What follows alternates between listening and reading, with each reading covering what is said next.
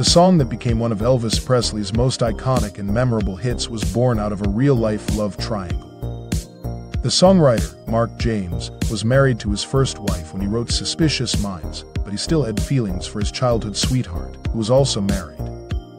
James' wife was suspicious of his affair, and he felt trapped in a situation that he could not escape. He expressed his emotions in the lyrics of the song, which capture the mistrust and dysfunction of a relationship that needs to overcome its issues in order to survive. James recorded the song in 1968 for Scepter Records, with a country-style arrangement and backup vocals by Donna Jean Godchaux and others. However, his version did not chart and remained obscure.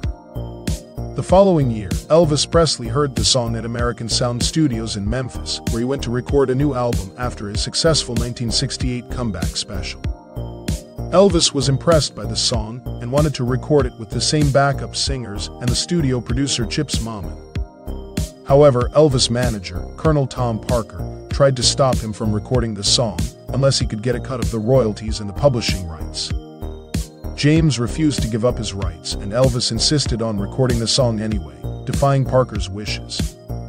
He recorded the song between 4 a.m. and 7 a.m. on September 23, 1969, with a soulful and passionate performance that showcased his vocal range and charisma. The song was released as a single in August 1969 and became a huge hit for Elvis, reaching no 1 on the Billboard Hot 100 in November. It was his first no 1 hit since 1962 and marked his comeback as a musical force. It also became one of his signature songs and a staple of his live shows. One of the distinctive features of the song is the fade out and fade in effect near the end, which creates a sense of suspense and drama.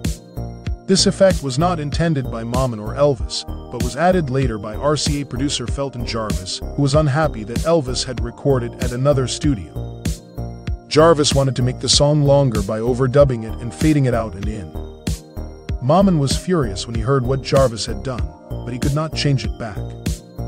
The effect turned out to be popular with fans and critics and became part of Elvis' stage act. Suspicious Minds is widely regarded as one of Elvis' best songs and one of the greatest songs of all time. It has been covered by many artists such as Dwight Yoakam, Waylon Jennings, Candi Staton, B.J. Thomas, and Fine Young Cannibals.